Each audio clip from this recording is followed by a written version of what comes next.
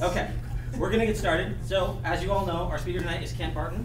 Uh, Kent is a longtime crypto enthusiast. He funded the ETH uh, meetup here in Denver. He is the co-organizer for ETH Denver, which I believe is the second largest Ethereum conference in the world, and he is the head of R&D at Shapeshift. So, please give it up for your speaker, Kent Barton. Hi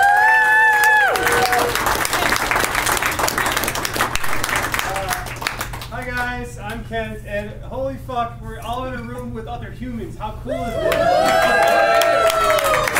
I felt like this would never happen. I don't even know if this is actually legal right now, so don't don't tell Polis it's not a, a state mandated event. But uh, Identify as outdoors. what's that? yeah, we'll crack open a window. It could be outdoors. right? An So, outdoor uh, civil rights protest. That's, That's what right. we are. That's right. Presentations actually are exempted. There you go. That Maybe is- say it's religious too. Um, so I, I want to start off by thanking Kira and Josh uh, so much for having me, and also uh, Justin and you know, the whole Independence Institute for hosting this. Um, so like like Josh mentioned, this is um, my second time back. Um, my first time talking to Choppers was in 2018, and wow, a lot has happened since then.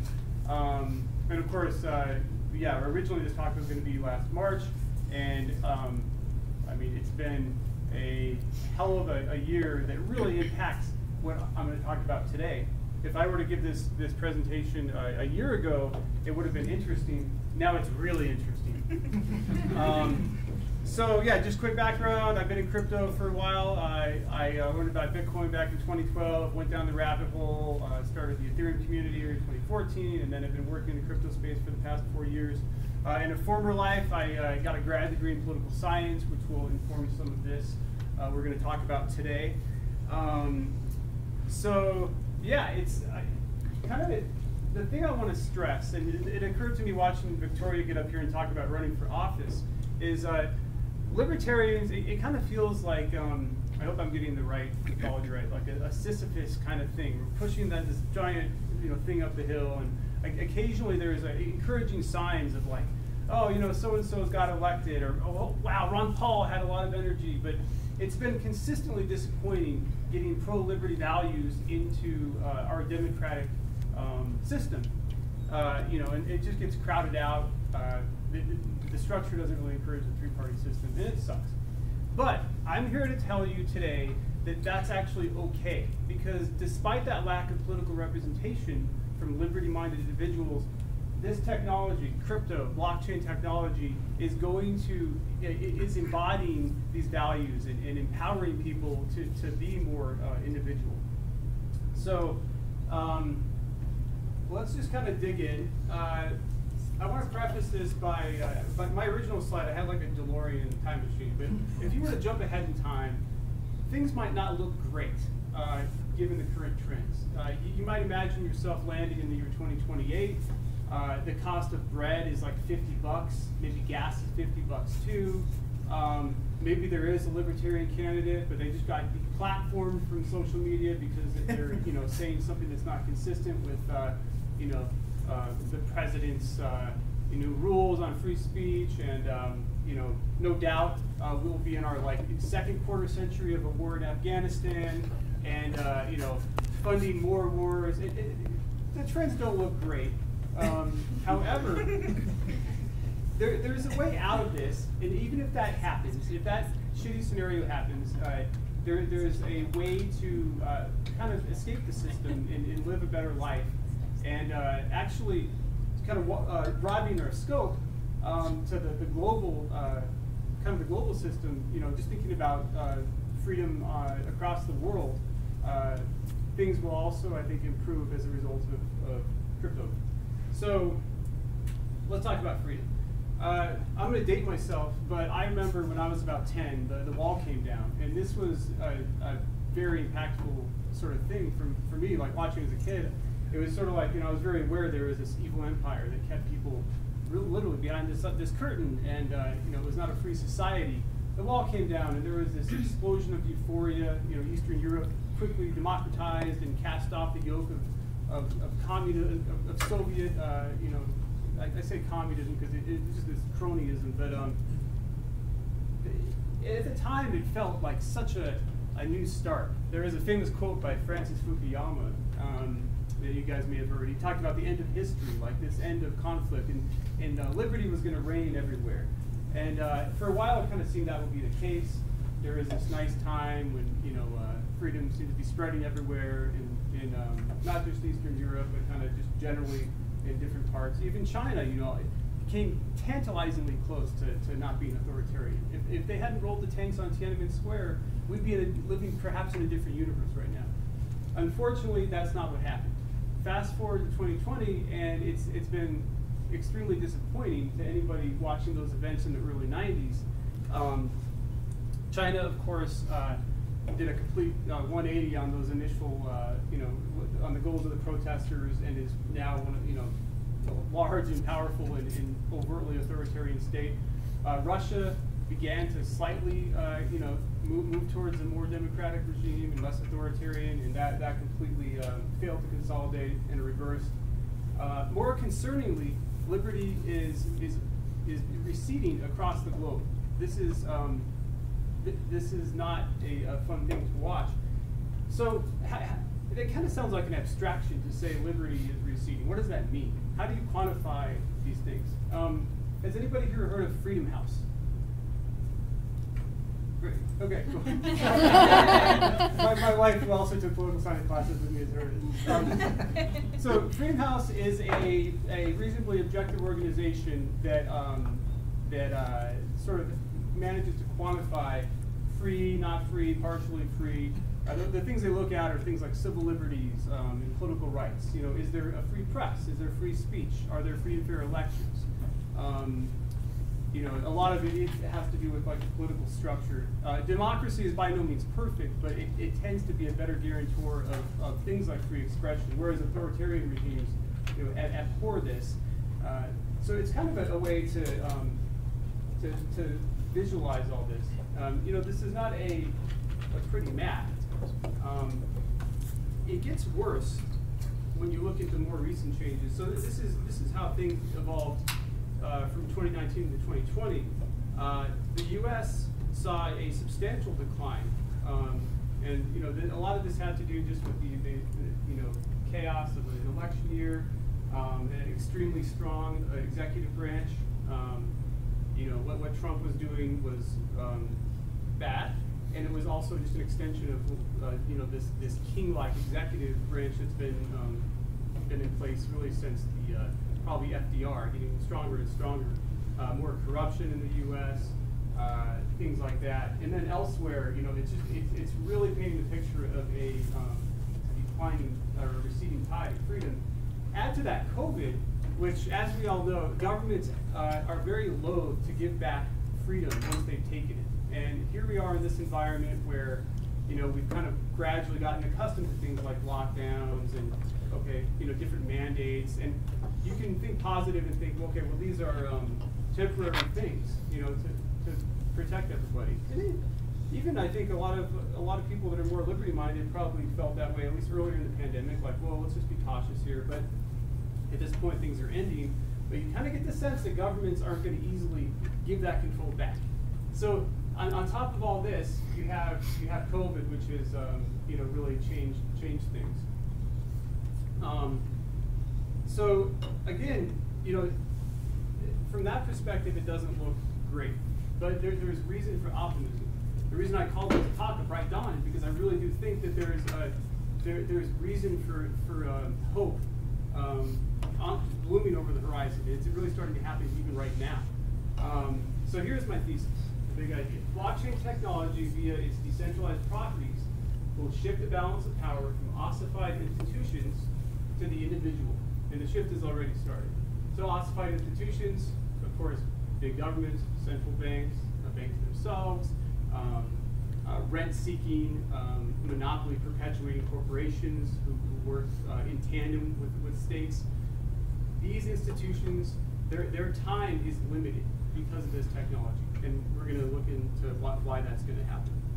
So the way I frame this is kind of in a, a problem-solution sort of framework. We're going to look at some different problems that are facing us um, with that liberty context in mind, and then think about, and look at how, how blockchain technology can, uh, can help uh, solve that. Uh, we're going to cover, some ground.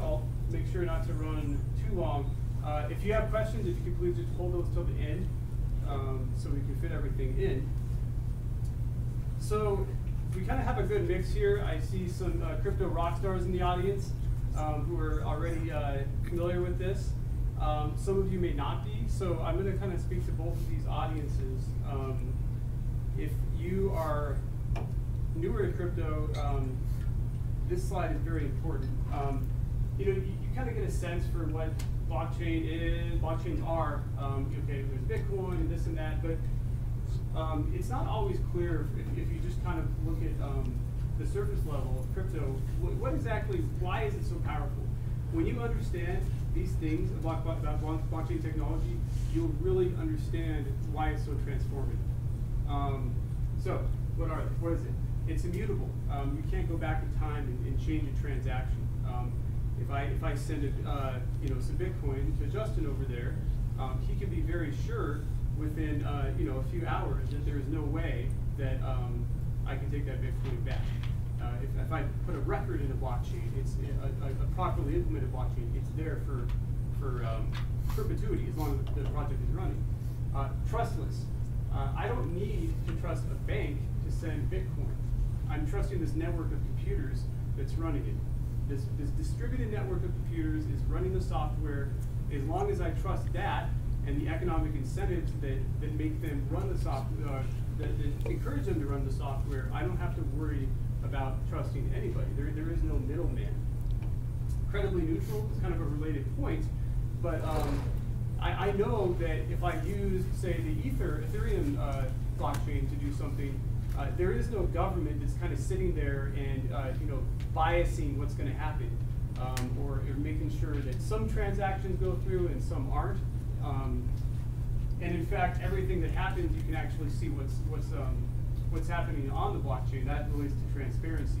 Um, so as much as you hear about, oh, you know, some terrorists are using Bitcoin, there's a lot of fear mongering out there. Uh, Julian Assange like to refer to the uh, the four horsemen, the, the crypto apocalypse, uh, with the the internet of like you know child porn, terrorism, the usual scary things you can do with this new technology. Um, you hear a lot about, oh, you know, Bitcoin yeah, you know, you can send this to anybody, and it's very sneaky. But in fact, everything that happens on, on these blockchains is, is open. Anybody can see what's happening. It's part of the, the beauty of, of this technology is um, it's all open source and open code and, and visible. Um, I put the asterisk there because there are a few exceptions. Uh, the, the, other, you know, the other side of the transparency coin is privacy. Privacy is a uh, you know fundamental human right. The old school cypherpunks kind of um, did a great job of, of um, uh, talking about privacy in the context of free speech. They really go hand in hand. You know, if, if in certain cases you may want to speak your mind, to do so in an anonymous way. Privacy is very important, and there are some blockchains that, that facilitate privacy as well. And finally, permissionless. Um, anybody can access, anybody across the world with, with an internet connection essentially can access a, a decentralized blockchain like Bitcoin or Ethereum. Um, you know, you, you, might say, well, okay, well, you know, what about like the Great Firewall in China, this and that? That's where you get into things like mesh nets or satellite internet. and We'll talk about that in a little bit. But the, the point is, you, there are no gatekeepers in this environment. It's the coolest thing ever. And you actually see that in the, the, the crypto culture as well. Everybody can rock them their own thing, do make their make their point made, uh, fly their freak flag. You see this a lot in crypto conferences. Um, you can be yourself, and it's just one of these cool aspects of, of, um, of crypto that I think really meshes with the, the individualism inherent in all this. So these things, super important to understand. Um, this is what makes uh, blockchain so powerful.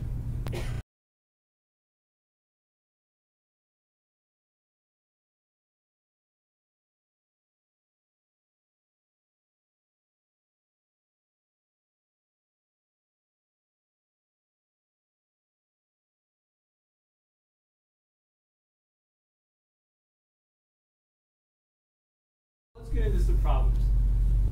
The, uh, the Federal Reserve, central banks. So we'll, we'll start with the, the, the, example you guys are, are probably most uh, familiar with. Um, you know, thank God the Fed is saving us from this crisis, bringing us even more into debt. Um, Praise be. Praise be. Thank, thank you, Yellen. Thank you. Uh, yes, these uh, these master uh, economic planners.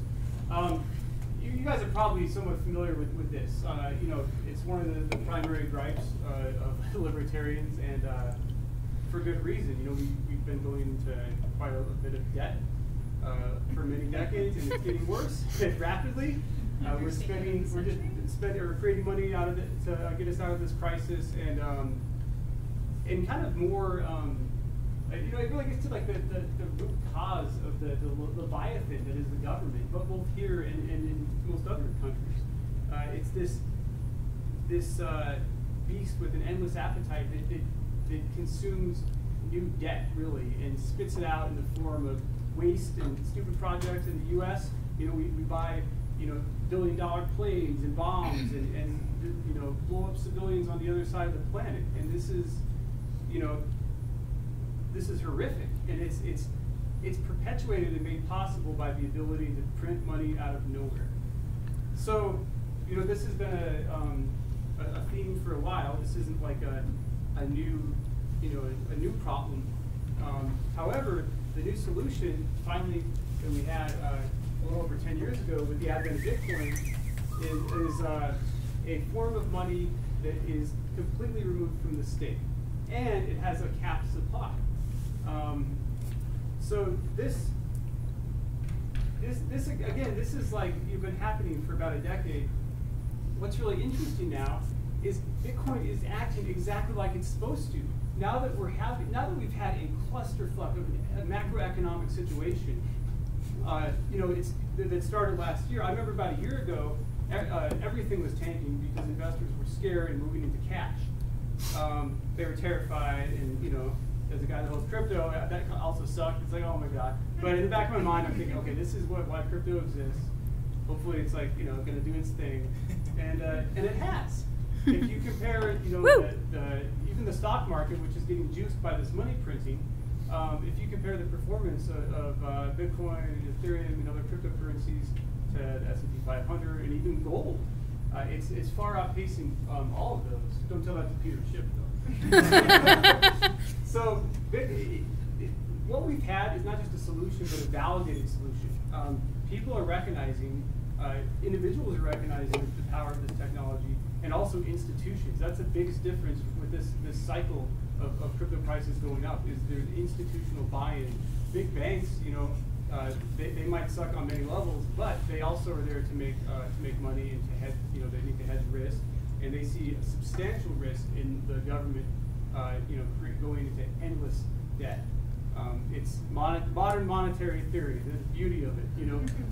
Um, on, a, on, a, more granular level, uh, or I should say looking just like at another uh, uh, country, uh, here's, here's some more nice uh, quantifiable evidence of, of just the, the, beauty of, of a plan B, if you will. Uh, so this is um, person-to-person -person volume of Bitcoin transactions in Venezuela over time. And uh, you know, they, they, I believe they have the worst hyperinflation on the planet currently. It's you know, it's a disaster down there. It's, it's approaching probably like Weimar Republic levels. It's, horrific. This has been a solution for a lot of Venezuelans, the ability to to uh, access something that, that's that's independent from from the bolivar that's getting you know turned into toilet paper. Um, and uh, what's impressive is, you know, this is an authoritarian regime where um, it's not easy to necessarily transact in crypto, but they made it work. This this is the canary in the coal mine. This is this is almost like a a, uh, a picture from the future of what could happen and what probably will happen in, in nation states across the planet as fiat asymptotically goes to zero, as more money is printed. Because there's no end to it. They'll just keep on printing. Um, so here we have, again, there's a potential solution. Uh, here's another uh, issue, um, corruption. So earlier we looked at like uh, you know the U.S. Uh, Freedom House uh, showed that you know the U.S. Uh, was not doing great on the liberty front. Um, and here's another sort of stat they had is their their rating uh, actually has declined by 11 points for the U.S. over the the past 10 years. And this is actually crazy because you know. I'm, I'm sure everybody remembers growing up. It's like you know the U.S. was kind of seen as this paragon of democracy. You know, you know and a lot of that was maybe idealized, but you know, there was this general understanding that we were really a very free state and always would be, and um, yeah, it's a land of the free, man. But you know, anecdotally, you feel that that's not the case. You, you see whether you know whether it's the president, uh, you know, or over the past four years, like decrying a, a, free press, or you know, on, on the on the flip side, you know, uh, uh, notions of political correctness and, and having to mu- muzzle yourself, getting manifested maybe even in laws. Um, corruption is also a big one. So Freedom House, they, they mentioned that uh, big factors behind this were uh, specifically political corruption, conflicts of interest. You know, we've seen all sorts of corruption. My favorite incident of corruption. Does anybody remember Blagojevich from Illinois? I think Trump pardoned the son of a bitch. But like, if you can't, you can't imagine a cheesier, slimier politician than Blagojevich. But the only difference is he, he got caught. So how many other Blagojevich cockroaches are out there that didn't get caught? This is endemic in our society. Um, and of course, like a lack of transparency in government, that, that's very related. Um, nobody really knows what's going on. Think about all the money that just got printed because of COVID. Where, where is it going? Nobody knows. Like, there's no way to track that. It's, it's just a colossal, and I feel like people almost know that, but they don't even care because it, what, what can you do about it? So, and this is a related point. Um, when you talk about corruption, uh, th- this is from Transparency International. It, it turns out that uh, levels of corruption are highly correlated with authoritarian regimes. The, the more, the more um, corrupt, the more authoritarian. Now, which, is this a chicken and egg thing? Which, which is causing which? It's hard to say, but I, I think, you know, it, it is, it, it is likely that the corruption facilitates more government control because, uh, you know, the more you can do, have backroom, uh, dealings, the more you can, uh, you know, just do shady things, create more laws, and, and, and create this insular power structure. Uh, cor- uh, so corruption and authoritarianism go hand in hand. So what's the solution to all this? The solution is to uh, go to South Beach in Miami and get drunk and forget about your problem. um, that sound nice? um, no, the solution is actually, I, I use Miami here because Miami is doing some cool stuff with crypto. Uh, Miami has always kind of been a, a um, forward-thinking pro-crypto environment. Uh, and uh, lately, they, like their, their, their mayor right now is very much on the crypto train. Uh, they're talking about paying their, their city employees in Bitcoin. Uh, I, and I just read the other day that they're experimenting with putting city services on the Ethereum blockchain and record keeping on the Ethereum blockchain. So here's an example of a municipality uh, leveraging the transparency of blockchains. So you can imagine as this spreads, and you're already seeing it, actually even, even Colorado has, has experimented and, and looked into this. Um, it's coming. Uh, it, as, as bad as some states are, you know, there's a lot of people in, in the, the political apparatus that don't, that aren't bad. You know, they, they actually are um, wanting to do stuff like this. They want to make government more, more efficient and function better. So things over time, I think as more uh, governments adopt this, um, not just for the transparency, but for the cost effectiveness, you know, we're going to be able to see, okay, where, where's the money going? It'll be a little bit bit better insight, um, and that will be a net positive, I think, for our society and, and for freedom. Problem, uh, banks. You know, banks are really bad in general. Um, they, uh, they are red. Short the banks. Red. yeah, Kira's got the red shirt there. Long crypto, short the banks. Um, Spontaneousorder.store, guys. they, they, they're monopolists. They, uh, you know, they work in, in tandem with the government to preserve their monopolies. They're rent-seeking. They, they, and uh, the, the, the worst thing is they just suck. Like, you know, if somebody's trying to try to send money, even to another account you have, it could take three, five days. And God forbid you want to send money internationally. It's, uh, it's awful. Money Once- launderers. Oh yeah, they have to you know make sure everything's you know cool. And in, in reality, they're using like software from the the seventies. so once you use crypto, it's, It's like it feels like Ken. anachronism. You can send you can send money. Uh, it- it- Danielle could be in, in um, Lithuanian. I can send her money in you know seconds, and and for a very small amount. So um, we- you know, everybody kind of hates banks. They, it's a bad experience, and they, they do, um, you know, they, they leverage their, their power and connections to influence what's happening um, in, in politics. but kind of pulling back from just like the annoyance level of it, like there's there's also very real problems when it comes to um, being freer. If you imagine like how, how banks operate, you know, across the world, there's a lot of gatekeeping involved here. You know, generally speaking, uh, more of a middle class, more affluence uh, tend, tends to lead to, to better outcomes for, for freedom, although that's not a one-to-one sort of correlation as we've seen in China. But generally, you know, people, if you can empower people to have their own businesses, ha you know, have, uh, have their own income, uh, do their own thing, this is a positive. Uh, it's, it's, um, makes them more independent and it's a good thing. Banks make that very hard. Um, and uh, you know when you can't access capital, when you, when, you know if you're a farmer in sub-Saharan Africa and you can't get a loan, this is tough. So, uh, who, who here has heard of decentralized finance or DeFi? Cool. Um, so this is Alex right here. He's going to be talking about DeFi on, on May 5th. Is that correct? Yeah. Okay, I'm going to cover it briefly here, but this is awesome. I, I highly recommend you, you uh, come to Alex and talk as well because what's happening in, in this space is incredible. Um, so decentralized finance is a way for, uh, basically, it's finance with all the attributes that I talked about on that, that first slide. Um, anybody can access it. Uh, it's trustless. There is no bank to, to uh, you know, say, well, you can't do this. There's no government to say you can't do this. Um, all of the government rules do sort of apply on, on the edges of this. Um, and what, what's happened is that the, the permissionless open innovation has, has triggered this entire industry of, of incredible things building on top of each other. Um, this includes like loans. So to use my example of the farmer in Africa, uh, hypothetically this farmer could take out a loan, uh, albeit probably over collateralized, but they could access a, a loan um, they could also uh, do something incredible. They, they could get access to, they, they could get uh, exposure to the price of Tesla. Uh, some you know American stock. I, I don't think many um, farmers in Africa can easily sign up for Robinhood or you know access U.S. equities, but they could do that. Similarly, uh, you know we could get, probably get exposure to like some weird uh, Hong Kong-based stock because these things are happening on the blockchain. There, there are no gate, gatekeepers anymore. So in decentralized finance, and again, this, this encompasses things like um, like lending and synthetics, which is like stocks on the blockchain. Um, this is like the kind of chart that, that VCs back in like the, the era of, of, like Web 2.0, you know, the, when they were um, you know raising money for like the likes of LinkedIn.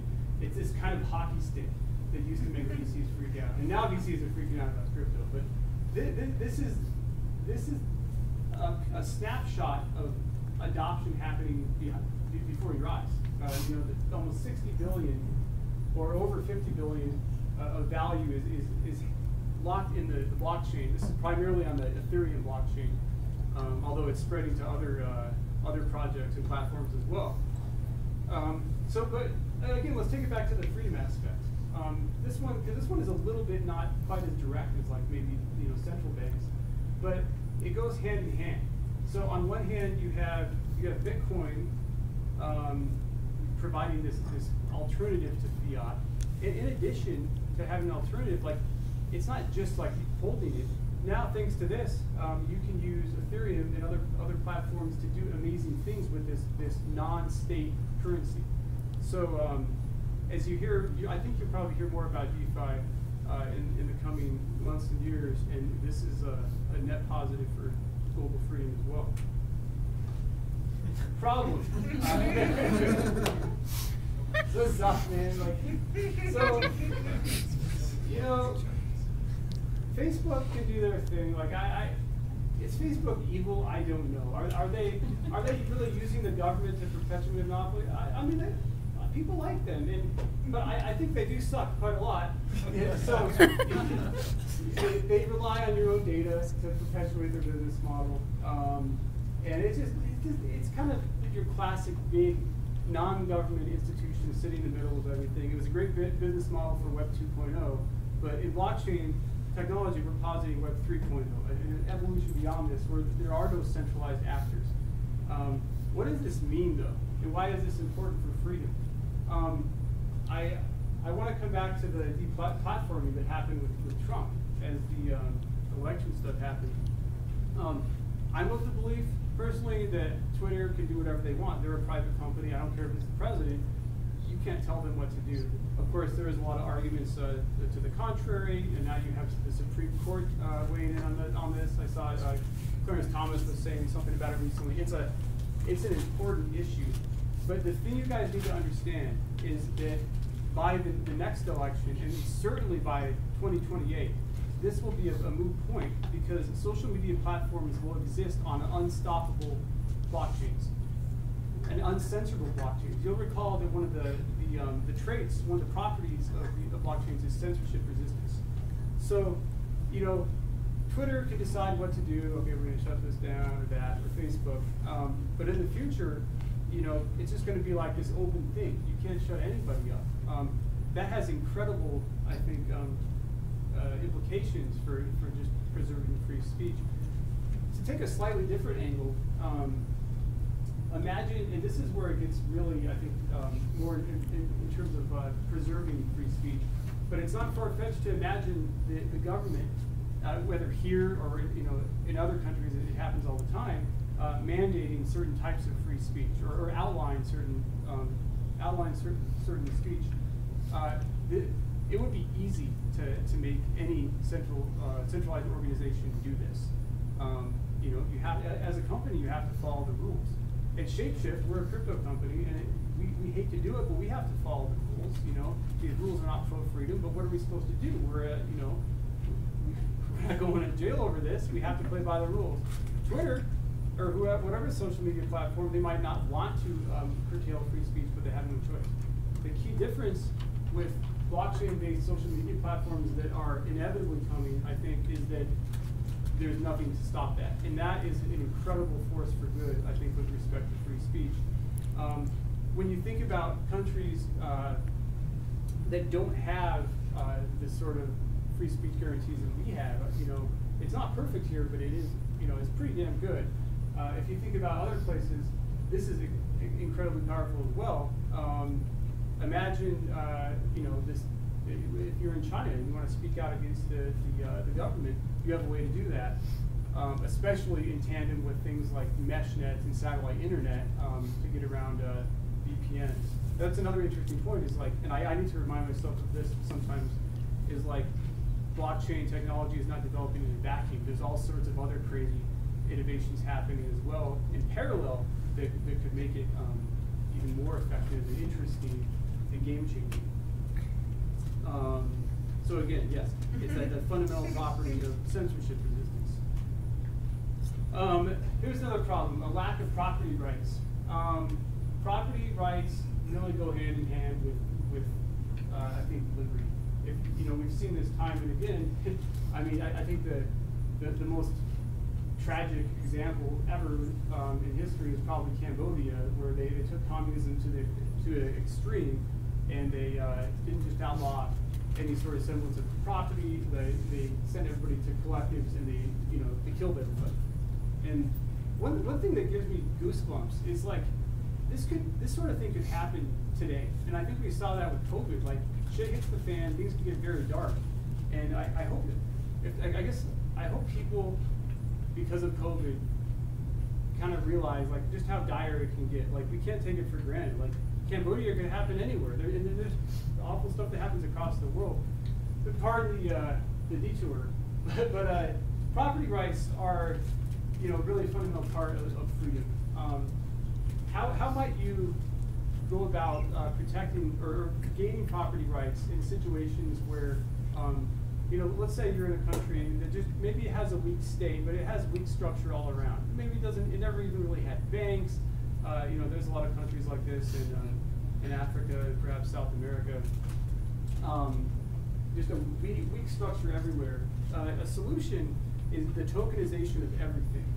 Um, so, every, okay, who's heard of NFTs? Now that's interesting because the NFT thing hit more recently. DeFi's been around longer, but the difference is most people don't really. Your average like like my aunt Shirley doesn't understand like you know I'm gonna like ape into this liquidity farm or something. This is hard to understand.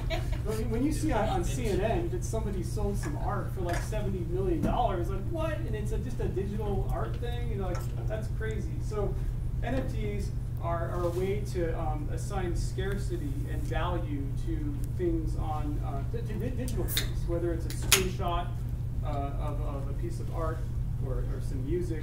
Um, and this is, I think, just going to ignite an entire um, revolution in, in like creating things. Um, I actually bought a, a piece of art from a 17-year-old sci-fi artist in India a few weeks ago, and it was the coolest thing ever. It's like I'm just going directly to this incredible um, artist, this kid. And, you know, I, I, I'm not sure, I think he lives in Delhi, but I assume the money I sent him stretches a lot further than it does here because, uh, you know, uh, of, uh, because the rupee is so weak. So he's able to engage in geo arbitrage, make uh, more money on his art. I'm able to support this, this person directly, which is amazing. So th- that alone is cool. Um, is it going to help fight authoritarianism? Um, probably not directly, but what will is um, this idea of NFTs is not just for art and music. Um, I think within seven to ten years, almost everything will be tokenized. So that's to say that, um, you know, imagine a house, a, a, record of a house, ownership of a house will exist as a, uh, a token, a, a, a one of a kind token on the blockchain. And this is, um, you know, that's really cool. You could actually like share ownership uh, or share investment in different things. Um, this idea of tokenizing everything is already starting to happen, and it's going to get more. Um, it's going to spread. If you think about places where property rights don't really exist, this is the perfect solution. Um, all there needs to be is some sort of like legal structure to kind of weave in the, the real world or what we call like meat space and cyberpunk lingo with um, with kind of like you know what's happening on the on the blockchain. Um, and uh, I remember the last bull market, there was some talk of like uh, this happening somewhere in Africa. I haven't actually looked into it, but I, think this will be a, a exciting development that's going to be coming down the pike. Okay. so that sounds great. What could go wrong? I mean, in life sometimes things go wrong. Um, the, the most obvious thing is something probably you know very top of mind for all of us is the government is really good at fucking things up, and they can certainly they can certainly uh, you know stick a uh, st- stick a uh, uh, poke us in the side with this and, and really give us a bad time in crypto.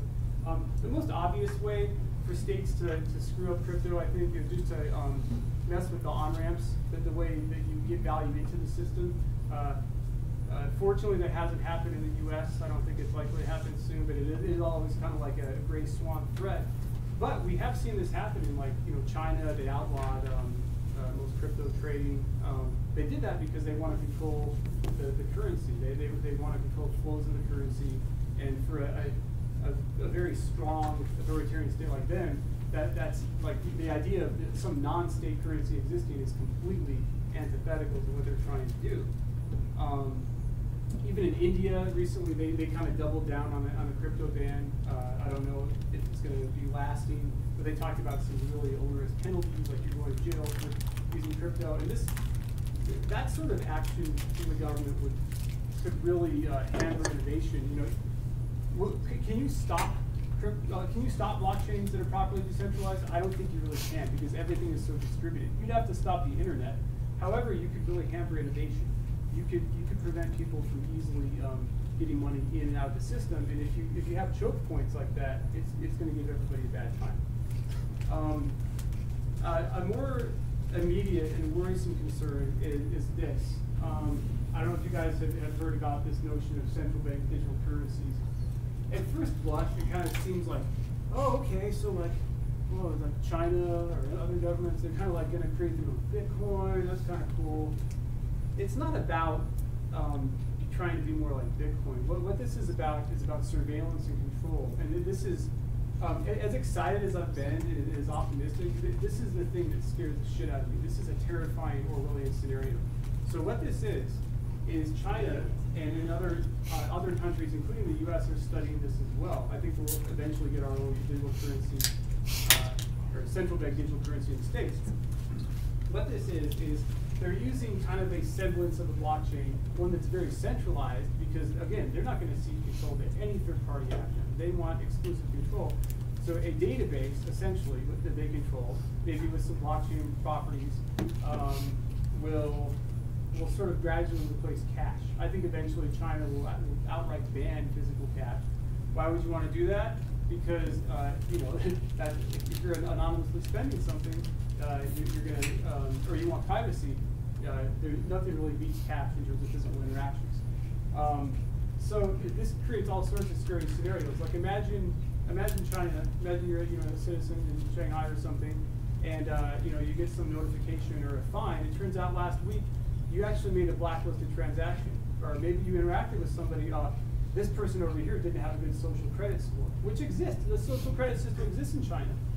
So, you know, uh, it's not a stretch to think that, that this could happen. Um, there's approved transactions, they're, they're monitoring everything you do. This is like something out of Black Mirror, and it's going to be foisted on the Chinese citizens in the next few years.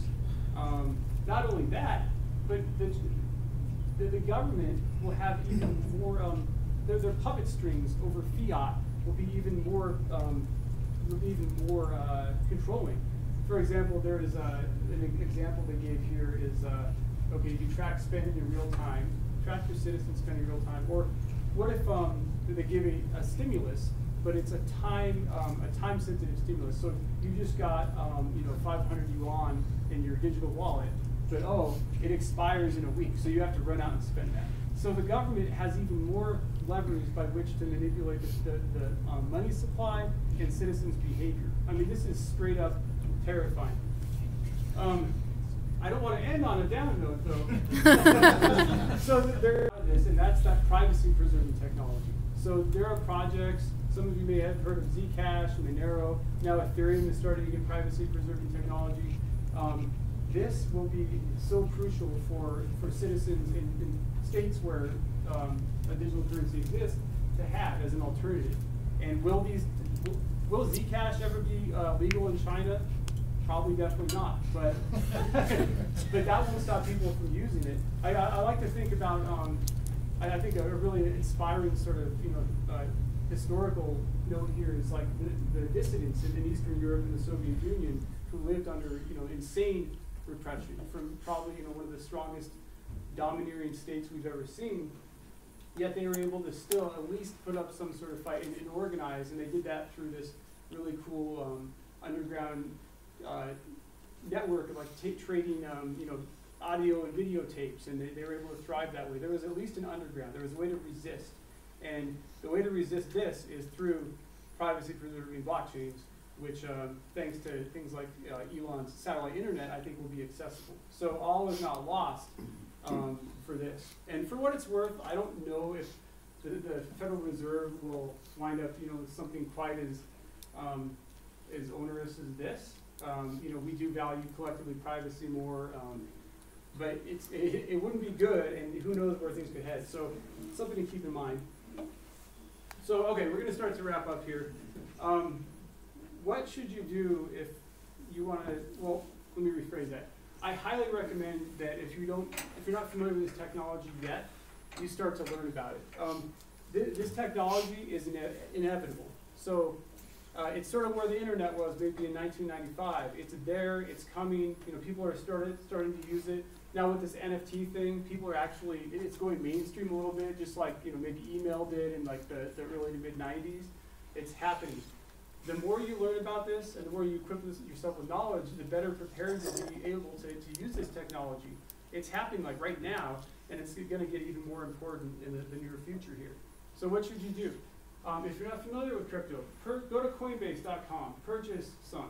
Um, I'm not saying necessarily, you know, this is not investment advice. I, I do, I do think it would be wise to hold Bitcoin and Ether and some other uh, tokens over the long run because they are, um, you know, separate from this. It's a great way to escape from the uh, probable probable inflation that's coming. But at the very least, um, get your head around it. Spend some. Buy, buy some things with crypto. Um, it's like a magical feeling. I think everybody remembers their, their first um, crypto purchase. Maybe it was on Silk Road for some sweet acid, or, maybe, or maybe you were just sending your buddy something for like you know dinner. But like, it's it's amazing because you're like, it, it feels like magic. Like I just did this, and I didn't need a bank, and it just happened immediately, and it's just an, it's an incredible experience. So I, I want you to have that experience. It's great. Um, hold some. Learn, learn what it means to just kind of hold crypto. Um, and if you really want to get into it, get a hardware wallet. Um, these things are, are really um, allow you to be your own bank. In crypto, we have a saying: not your keys, not your coins. If you have access to your own private keys, you are your own bank. No, nobody can take that away from you, and it's um, you know it's it's amazing. Um, learn about Bitcoin. Um, there is a guy named Andreas Antonopoulos who is the I, the most inspiring, I think, crypto educator out there. He's he's incredible.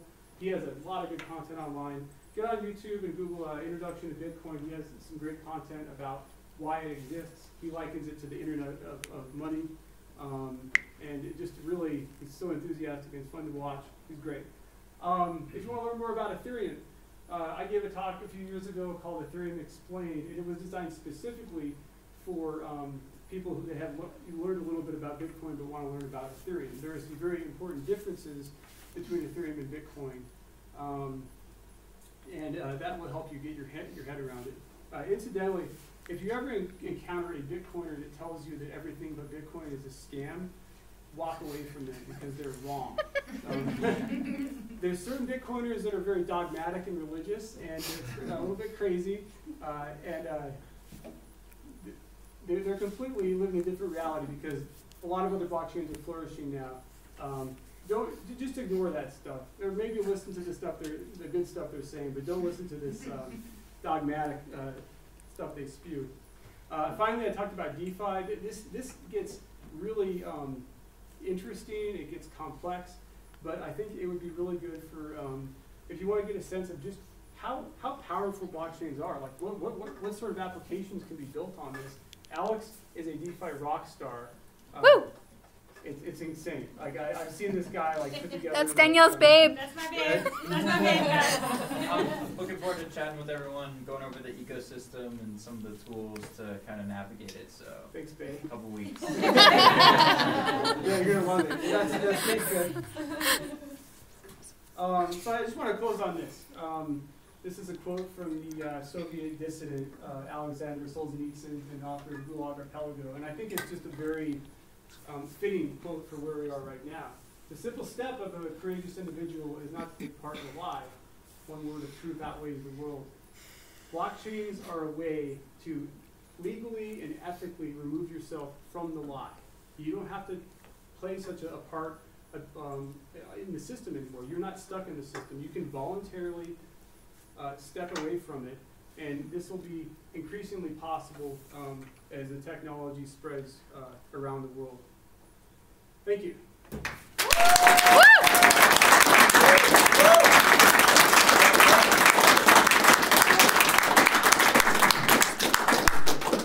Yeah, Q&A. Yes, uh, questions? Okay, so one of the things that you said was like that you thought that maybe Twitter or, or sorry, Twitter or Facebook, maybe they were influenced by regulation. Um, and I, I thought that you were alluding to taking Donald Trump down at the end. So I was curious just to hear, is that what you meant? And did you mean that like somehow the government wanted him, you know, taken down? Uh, okay, so yeah, let me clarify. It's kind of like, so Twitter made that decision, I think, on their own volition, and I think they have every right to, because they're a private company. It, uh, this guy's fucking crazy, we're taking him off and you know it's causing a lot of problems. Um, what I was really getting at is a situation where um, it is to kind of underscore the point that in the future that conversation will be moot because people will be on these uncensorable, non, unstoppable platforms where there is no arbiter to say you can or can't do this. That's one. And then two is um, in situations where the government comes in and says, oh, that, that's not mandated free speech, and you know th this is something that's not as top of mind in the U.S. right now, but is in a lot of other countries and could be here. That is um, really powerful to say, um, well, you can actually stop this platform.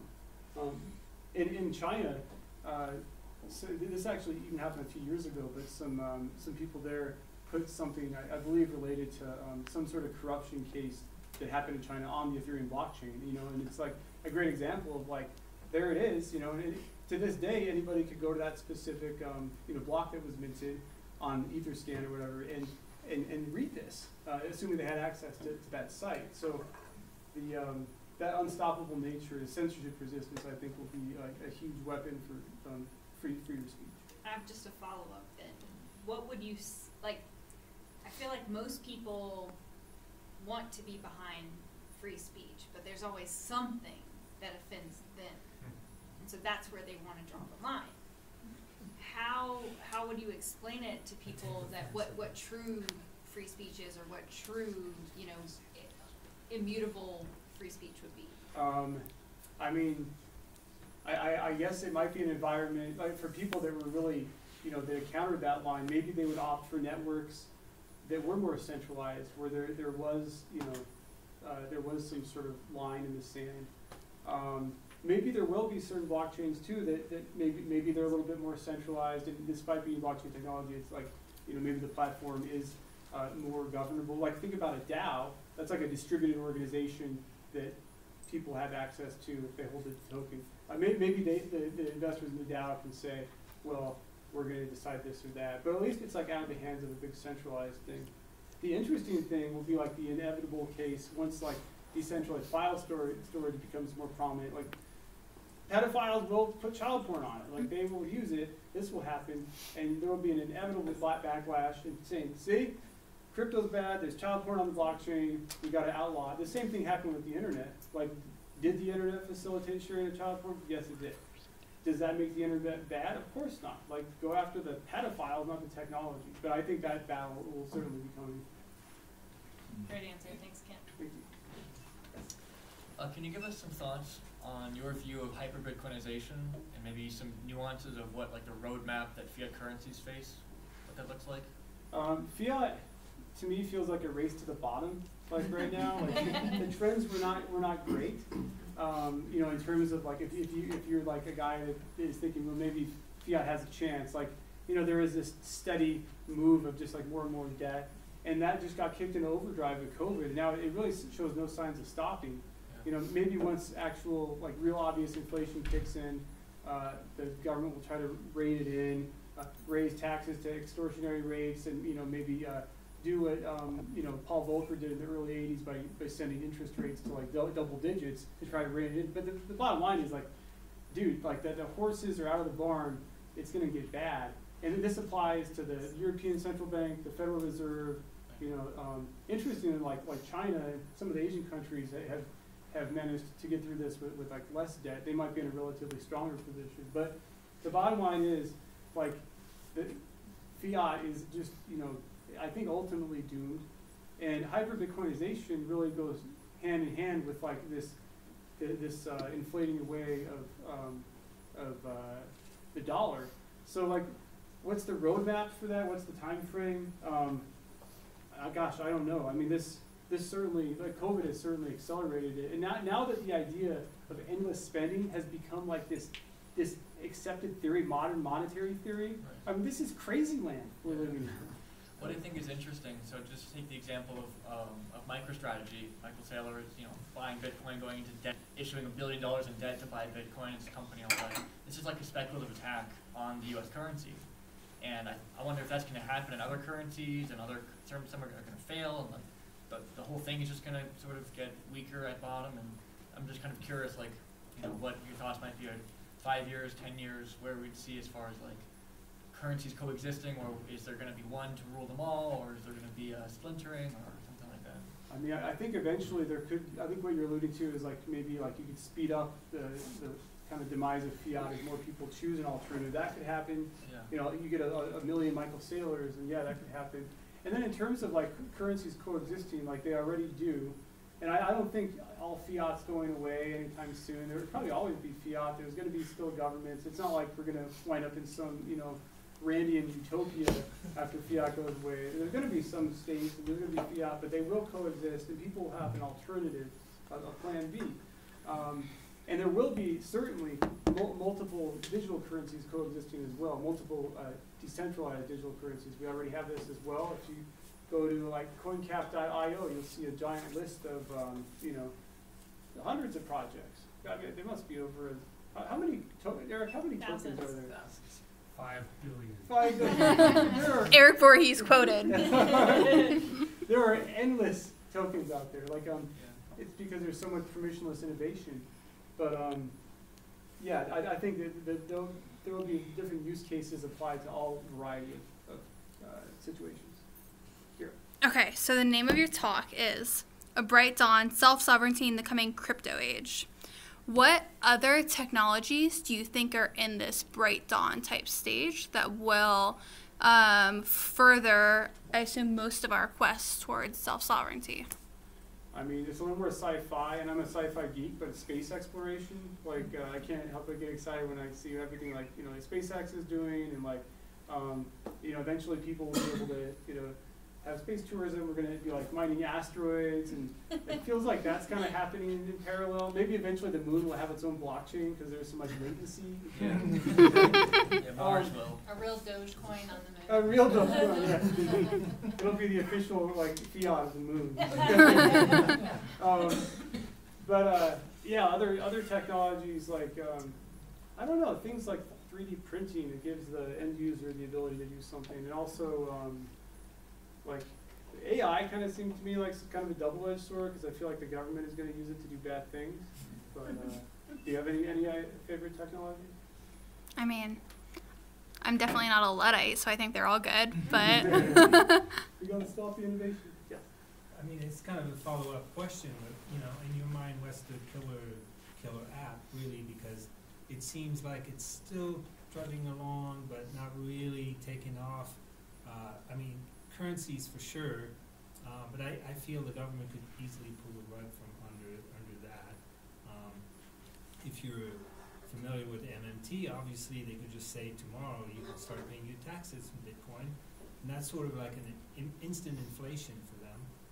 Uh, so, what's the killer app? And then the, the sort of embedded question to the SpaceX thing is, uh, how you know what's the obstacle to tokenizing commodities? Um, okay, so uh, the killer app, I think, really is money. Um, there is a lot the government can do to screw it up, but we, we've seen that. Like, you know, Bitcoin is um, has been a remarkable success because it is, you know, people want an alternative. Um, and then with something like Ethereum, you have a lot of stable coins which give people the ability to transact. Um, Uh, you know, it's a store of value, it's a means of exchange, in a, in a, in a stable kind of non-fluctuating currency.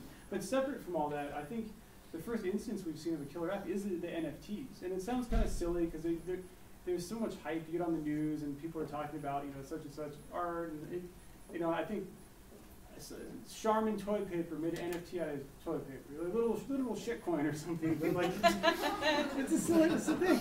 But there, there's a there's a kernel of awesomeness there. It's like it, I think it's sort of like similar to like how email was relatable to everybody back in like the early '90s or mid '90s when they got on Prodigy or AOL or CompuServe. It's like I don't know how it works, but I know that I can just send an email to my friend on, on the other side of the planet, and they can send me a message back.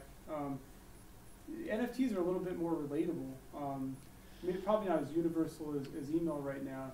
Um, looking further down the road, I mean, that's where it gets really interesting. It's like, uh, you know, and all- of us working in crypto, you know, we kind of have our blinders on, looking at what's right in front of us. But it, it is fun to like look down the road and just try to speculate what, what could happen.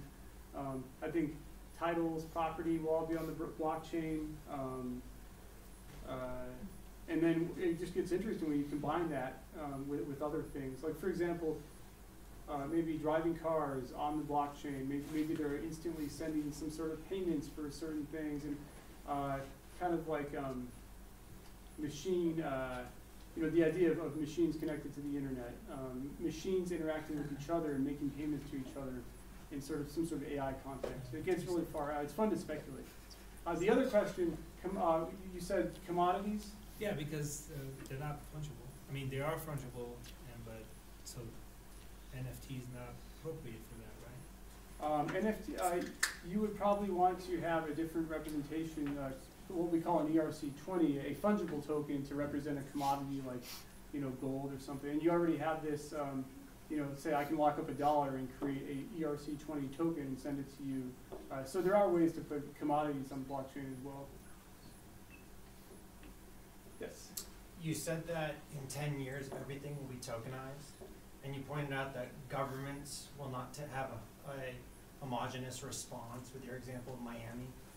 Um, when do you think that the first government will sell a tokenized permanent residency token? I think it's still- That is a good question. I mean, so you would have to put citizenship on the blockchain. I bet Estonia will do it first. Estonia is amazing First, folks. with this. They, they are so, they are like living in the next century. Estonia is awesome. So hypothetically, there's nothing to stop you from doing that. Like if I was Estonia right now and I wanted to do that, um, I would, I would use Ethereum and I would create some very nicely audited contract, the citizenship contract, and then I would, I would create some sort of legal mesh to, to make sure it's recognized in, in the framework of real world legal. And then that would be awesome. And then, uh, a lot of, um, you know, rich Bitcoiners would wanna buy that citizenship probably. Um, yeah. Yeah, I just, um, I wanna, you touched briefly on privacy at the end, and, uh, I, I talked to a lot of people that are interested in crypto or just kinda learning about it, and it seems like one of the major concerns is government getting involved and just looking at the records and then either taxing it or seizing it or just saying, hey, you owe back taxes. And I was wondering if maybe you could touch a little bit more in depth on, like, um, what it means to actually be, to hold your own private keys and, you know, different ways that we can subvert the state from getting involved because really a lot of like the hacking and government intervention has been on the exchanges, which are not secure and not on the private servers, and I was wondering if you on Sure.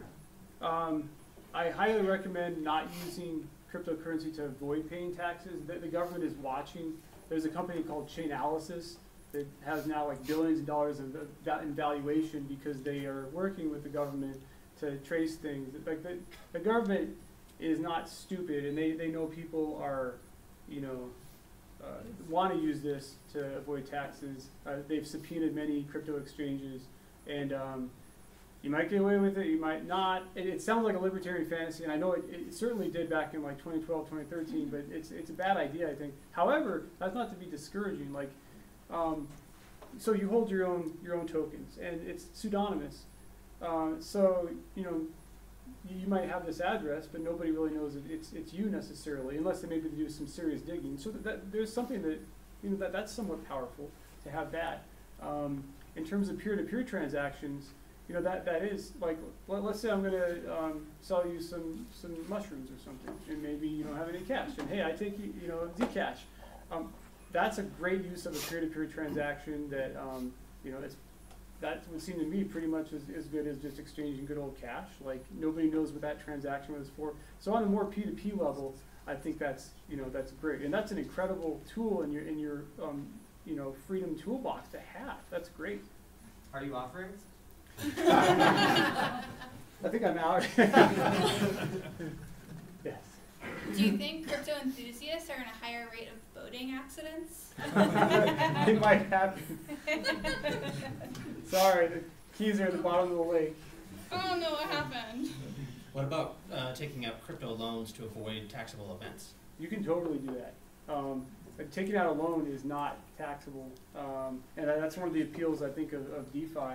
The only the only catch is you have to over collateralize, so it's not the most capital efficient thing to do. But um, that's a that's a great way to totally above the board um, avoid paying taxes. Imagine if you wanted to put a down payment on a house, just lock up some crypto. Of course, there is a risk that if, if your collateral declines in value, you, you get you know margin call, or you got to put your you know, it might not work out financially, but um, that, that's a perfectly good. Yeah, um, you mentioned governments using crypto, somebody mentioned something like a residency type of thing. Is that, do you think that's a desirable thing where you would interact with the government primarily through, through the blockchain? Or is that something that we want? And what are the implications of that? For example, if that's the way you, um, interact with the government for maybe proving your citizenship, does that imply that something like internet access become a right for everybody? Um, I mean, I, I think it would be like easier. Like imagine this. I, I'm thinking. I often have thought about this scenario when I was like traveling internationally. But like, it would be kind of cool to have a passport on a blockchain. It would just be easier that way. You wouldn't have to worry about losing it. You know it's there. Uh, you know, you just go through and maybe you you scan some QR code along with your some other um, provable identity or something. Um, I don't think it necessarily changes anything in terms of like, um, you know, are they able, to, perhaps like they, they can monitor you more effectively. That is something to, to keep an eye on. Um, is like maybe the government could start to use crypto to, to monitor your behavior, kind of like what China wants to do with their digital currency. But I'm sorry, the last part of your question. Yeah, so like if you only can interact with the government via some blockchain, that implies that you have to have some sort of, everybody has to have some sort of technology available to them, right? Yeah. Like Connectivity or device or something. This So if that's a desirable state, then that almost implies something. This will probably only increase, like, I mean, ever since like the mid nineties, there's been this idea of like a digital divide and the notion that the government has to make sure everybody has access to the internet. I think that's part of Biden's latest spending thing, so people will probably, this will only, given, given the, the importance of having access to this technology, it probably will, there will be saying that there, there is a right. But in practical terms, I think as long as you have internet, an internet connection, you will be able to have access to crypto. And then some of the infrastructure like wallet and identity stuff is, is, is there or it's coming as well. So, What's up, dude? so I just wanted to ask: Is Ethereum, is Ethereum, are Ethereum contracts really unstoppable? Like, was the DAO really unstoppable? So, okay. Uh, what, what this guy, uh, Chris is referring to, Chris is awesome. Um, there, there is a, a incident that happened in, uh, I believe it was twenty fifteen, uh, this project on Ethereum raised millions of dollars, twenty sixteen, and it got hacked really bad and people lost their money. So, that, this is an important thing to note, like when I'm talking about unstoppable, uh, and th- this applies for any blockchain, like we're talking about an ideal state where something can't be shut down and everything is working properly. In reality, and especially with like smart contract blockchains that do a lot more than just Bitcoin, like shit can hit the fan. Like people have lost a lot of money.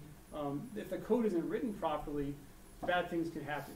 I think this is emblematic of like early stage technology. Like so, one thing to keep in mind is like you know, yes, these things happen with unaudited smart contracts, but the mechanisms for auditing have gotten way better since the DAO hack. You know, there's a whole there's a whole industry now around um, auditing things, and like Well, yeah, but I mean, doesn't didn't that set a precedent that if there's something that people don't like about the code, that basically it can get rolled back to a previous state? And doesn't that then imply that if the government doesn't like um, something that happened in an Ethereum contract, that they could put pressure on the Ethereum Foundation to roll back a change? I, I don't think so because let's say they convinced Vitalik to. And sorry, we're about to get into insider baseball here. But what happened in the aftermath of that that DAO thing is it was very early on in Ethereum, and uh, there was this kind of uh, decision collectively made, but, but a controversial one, to actually reverse what happened and give everybody their money back, which violates immutability. And this, for people, uh, a lot of people, th- this really like was antithetical to the spirit of crypto on, on a pragmatic basis, I, I think this is more of like a mulligan. It- like Ethereum was in its early days, you know, like it, yes, it was an early screw up. I don't think it would ever happen again. And in fact, with the parity multi-sig hack, which was a lot more money, those two, like that was a non-starter that, that anything would get reversed. But let's think about a scenario where, let's say Putin and uh, you know the leader of China and you know, let's say people ganged up on Vitalik uh, and the Ethereum Foundation and really put some pressure on them what could they really do? Like Ethereum is, is controlled by node by, by miners. Um, soon it will be controlled by stakers. How, how can you? Well, let's say let's say the EF wanted to foist some awful, you know, sort of thing like we're gonna um, we're gonna redistribute wealth from your wallet to everybody else. We're gonna have UBI mandated UBI.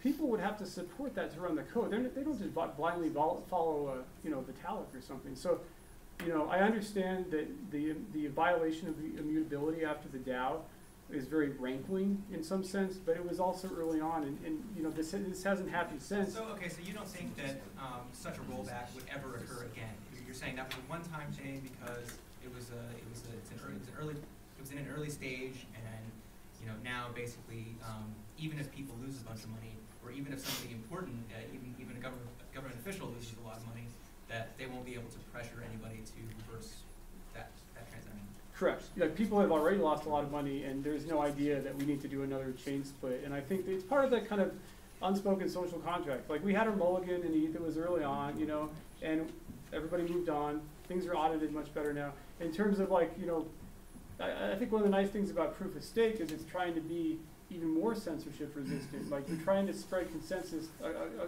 even, you know, more uh, uh, evenly. Um, and uh, I mean, time will tell.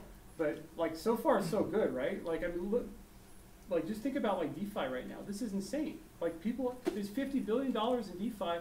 Nobody can stop it. Um, Well, I hope you're right, man. So, so do DeFi investors, which is a great segue into my into this. Um, Kirk Dameron is a local crypto guy, and a, um, he's he's been you've been in part of the ETH community for quite a while.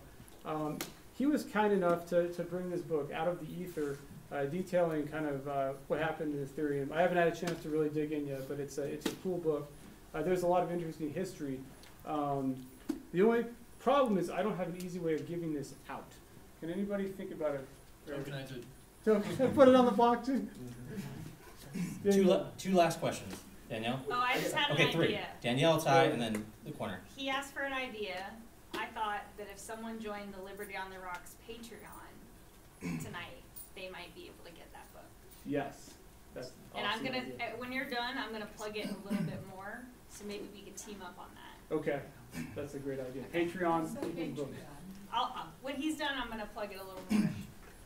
Correct me if I'm wrong, but for that DAO hack rollback, that wasn't a unilateral decision by the Ethereum Foundation, that still took a majority of miners' consensus, right? Absolutely. So if the Chinese government said, Vitalik, do this, they People would would have to convince half of the miners on that network to Precisely, do and that, that was my, that was my You point. you created a hard fork, so there wasn't a consensus. It was a, it was a Well, contentious hard so- fork. some, some miners chose to run the original software, and then there was a fork, but that, that didn't, you know, of course, they, they can have their own fork party, do whatever they want with their, their hash power, that was, they were entirely within their rights, but the, the, the chain that was sort of, the- you know, that, that represented the, um, you know, the, the, the, Native. yeah, the original, or the, the non-original, like the get rid of the, the hack version, you know, that was kind of the canonical chain. Most of the community supported the, the dApps, and, and life moved on. Um, and that's not to say that there won't be, you know, like contentious hard fork. There's probably going to be one uh, when, with a switch to proof of stake, or maybe even like uh, the, the fee burning with 1559. And uh, again, we're getting like crazy down the rabbit hole, but like this is this is like new ways to achieve consensus, new ways for people to interact and you know to, to govern projects. Um, yeah, like, but, but there are no like kings in, in Ethereum. A, a lot of Bitcoiners uh, really dislike the idea of something like anything having a foundation because Bitcoin doesn't really have that. But at the end of the day, you know, Bitcoin is not immune to these things either. Like, you know, if the Chinese government decided to nationalize miners, there could be issues. And Bitcoin itself had its own contentious con- or, um, debate about block size a few years ago. So, you know, we're, we're all kind of making this up as it's going along, but um, it's going well so far. Last question. Yeah, so it's kind of a two-part question, um, and let's kind of jump off of this statement that we're all making this up as we go along. Um, so the next question will depend on your answer to this first one. So you're you seem optimistic about uh, a blockchain social media platform. Uh, I first want to know like what what do you think that would look like? What's like what's your ideal vision of that? Uh, that's a good question. So something that the, um, you know, I guess you could divide it between the front end and the back end. The front end ideally would be served by something that is censorship resistant or IPFS. Uh, to ha- if I needed some like decentralized and immutable um, file storage, maybe for pictures or something, that's a, that's a project that has censorship resistant properties. Um, you, there's even been some early efforts towards social media, like Steemit, uh, Steem. Um, I don't, I didn't. Minds? What's that? Minds? Is Minds on the blockchain? Um, I'm not familiar with that one, Minds. Minds? Um, but there are some early experiments about like with social media. The biggest problem right now, and the biggest challenge, uh, it- like if I if you told put a gun in my head and said, "Kent, you got to build this right now," I'd say I can't do it because um, the, the the scalability is not quite there yet. Um, uh, Ethereum only does like 15 transactions per second. There's there's um, projects like Cosmos that could do more, but when you talk about like a, a Facebook or a Twitter, you're talking about uh, better scalability. The challenge in crypto is how do you scale um, without losing those properties? Like I can build a centralized blockchain and it, it has like a thousand transactions per second, but then I lose a lot of those great properties. Um, so scalability would be a tricky one, and there's um, there's a lot of innovation happening right now, like layer two platforms on, on Ethereum and new blockchains like Cosmos. And you said you got a second part. Y- Yeah, it's it's so I'll kind of provocatively start this out by saying that I'm really really skeptical of the idea that decentralization is automatically revolutionary of its own accord, because I don't think, um, for example, are you familiar with like the work of Deleuze and Guattari, like A Thousand Plateaus and so on? Is okay. Well, it's kind of like just like the mushrooms of philosophy. Um, as soon as we're decentralized, we have complete creative freedom. You know, we can't be censored. Um, and then, you know, this is the kind of like, you know, you brought up Solzhenitsyn. This is the sort of Jordan Peterson spiel of Solzhenitsyn. It's like, let's stop all these people from, you know, censoring us, censoring us, right? So, um, my perspective on this is, you know, you talk a lot about the government, about how the government is very like, you know, they're they're out to get us, right? You got to remember the government is made. It consists of people, right? Just as everyone in the blockchain consists of people. We're all people and we all have people problems.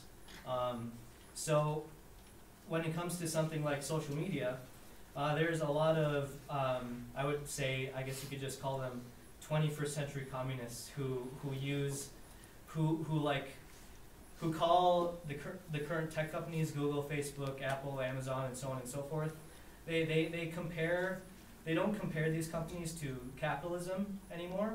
They more compare them to feudalism because um, what a lot of these their business models are essentially based on manipulating the thoughts and feelings and actions of the entire social field. So so obviously we learned from the 20th century. We know what this overt authoritarianism looks like. Um, I didn't. I heard almost nothing about a more covert authoritarianism, such that the, the kind that um, perpetuates you know ideologies in our social field constantly. So so I guess my question is. Um, when it say you know money no longer exists, we're in a completely decentralized, you know, revolutionary blockchain network. Um, all of our commodities, all of our assets are exchanged within this network. Um, how? Then my question is, you know, the regulation of human behavior in terms of like morality. It's because like obviously when you try to get the government to do that, a bunch of shit goes wrong. But but when but when people like a company like Facebook or a- Amazon, Google, you know, a lot of people who work for these companies, they're not necessarily bad people. But this Let me just stop you real quick, because Okay. you raised a lot of different questions and points here. So, number Okay, one, okay, okay. absolute block, like, and I, I don't wanna give the impression, blockchain is not some panacea that's gonna Yeah. create a utopia for us. De- Decentralization, um, it can, at its worst, it can just be a meaningless buzzword, and not everything needs to be decentralized. Uh, but with respect to the examples I listed, I think it's gonna be very, very helpful. Um, but yeah, absolutely, I mean, it's not like we're gonna have this, um, you know, everything is just gonna be, um, unicorns and, you know, rainbows after things get more decentralized. Money will still exist, albeit in decentral, in, in more, um, digital form, uh, and separate from the state, crucially. And here's the thing, humans, okay, humans will always face pressure to organize themselves certain ways, and morality, obviously, you can't legislate morality when it, people Exactly. do, it turns out that's bad. my point. You can't legislate morality. But that's not, um, that is not, uh, mutually exclusive to blockchain technology and decentralization. Like, in, in a situation where crypto is, is rampant and everybody uses it, um, you know, if anything, it, it will make it harder for institutions to, to regulate, um, morality. Like, okay, let's say somebody is running a, a, platform that you don't like, you simply don't use it, and the, the thing it doesn't solve for though is social pressures and like political correctness and like that's you know that's beyond tech man that's like something people have to figure out for Well. I, I also think it's beyond blockchain. I think that that's, this is something that is very deeply instilled in like human behavior, like, you know, we're social animals, right? Sure. And So, and this is just at the end of the day, this is just technology. You're talking about human nature, which is maybe we should all you know do some some um, you know drugs and figure out. Here we go. You know what I'm saying? Like you're talking about raising human consciousness. This is this goes beyond even crypto. right. Although a lot of crypto people And, like to do that. and I think there's a lot of good, uh, comparisons to be made between like the psychedelic world and the crypto world. Yeah, for, for sure. That is on True. So Yeah. I think we're. That's our talk. Uh, thanks everyone for coming out. Thanks everyone.